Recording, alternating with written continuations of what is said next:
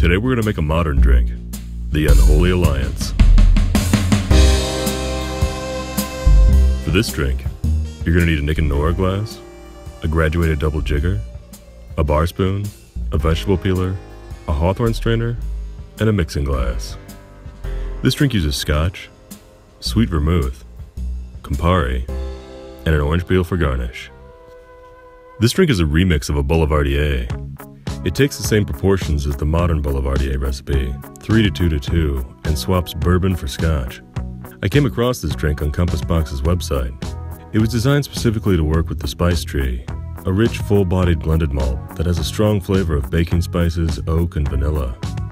Those spices stand out in the heart of the drink. The flavor goes from bright citrus on the nose, then some sweetness, big whiskey and baking spices in the middle, and a bitter orange finish. The cocktail benefits from being served up with an orange twist. And although I prefer a Negroni over ice, some of the bold and striking flavors of the Unholy Alliance get lost if it's served on the rocks. This whiskey is very hard to substitute. You want something that'll not only be able to stand up to the Campari, but be able to stand out.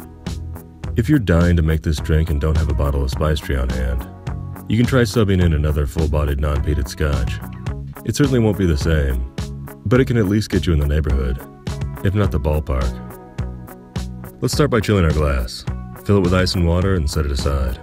Next, we're going to measure an ounce and a half of scotch. Add that to the mixing glass. Measure an ounce of Campari. Add that to the mixing glass. Measure an ounce of sweet vermouth. Add that to the mixing glass. Add ice and stir it well to chill it down and give it some dilution. Dump the ice and water from your Nick and Nora glass. Then strain the contents of your mixing glass into your chilled cocktail glass.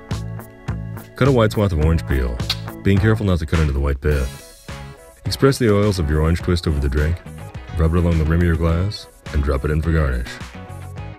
And there you have it the drink that's more than a pairing the Unholy Alliance. Enjoy.